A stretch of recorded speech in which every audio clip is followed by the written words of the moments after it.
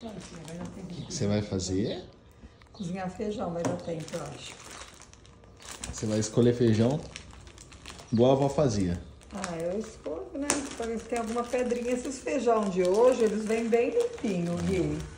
Mas eu tenho medo de ter pedra.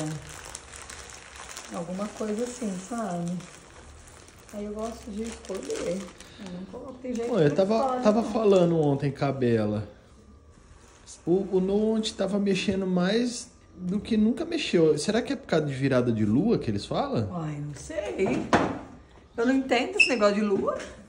Ah, me falaram que pode ser por, por conta da virada da lua. Eu não entendo, deve ser, né? Pessoal, a avó, quando- a avó, os, anti- mais, os mais antigos sempre falavam que, que tem essa mudança de lua, né? Aí mexe mesmo. Mexe, mas eu não entendo quando a lua muda, quando não muda. Pra mim, quando a lua muda é quando ela sai de minguante pra cheia.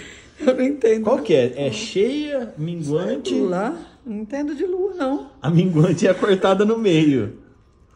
A Por quê? cheia é a cheia. Sou péssima nesse negócio. péssima. Péssima.